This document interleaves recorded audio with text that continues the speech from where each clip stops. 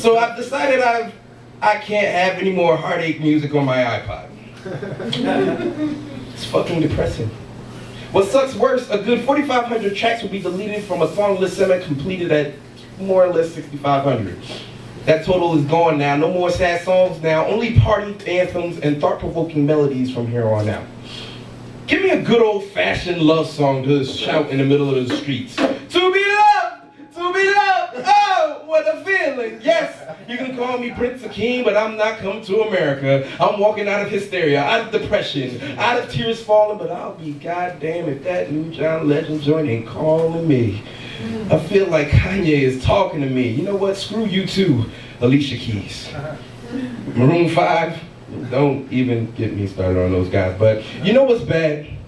I don't even have to be in the situation the song is presenting. I wouldn't even have to be sad or mad. I could hear Can You Stand in the Rain, be in a completely good mood, and still say, why do sad songs sound so good? Are they in some way easier to listen to? Is it because they contain truths? Is it me or is there something better to musically or mentally relate to than heartbreak surrounded by 808s or tunes about relationship issues? As much as I am a victim to an awesome breakup song, I'd much rather my spirit be not be so consumed with gloom. So DJ, change the tunes, change the tunes.